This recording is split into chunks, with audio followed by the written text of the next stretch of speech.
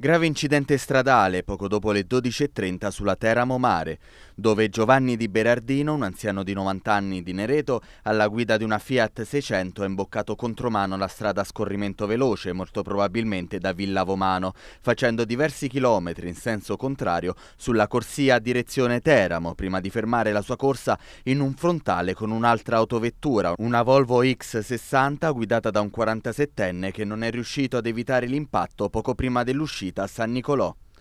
L'anziano è deceduto per le ferite riportate nello scontro, mentre il conducente dell'altra macchina coinvolta è stato trasportato all'ospedale Mazzini di Teramo dopo i primi soccorsi sul posto.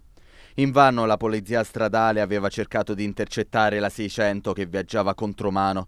Non è la prima volta che sulla Teramo Mare accadono episodi simili. Gli ultimi in ordine di tempo giovedì scorso, con un'utilitaria che sulla corsia direzione L'Aquila procedeva verso il mare tra lo svincolo Teramo Est e Sant'Atto. Autofermata dalla polizia e condotta da un 79enne di Rocca Santa Maria. L'altro invece si è verificato l'11 luglio scorso, quando una vettura, allo svincolo di Sant'Atto, aveva sbagliato il senso di marcia. In entrambi i casi, miracolosamente, non ci furono conseguenze gravi, come invece è accaduto questa mattina.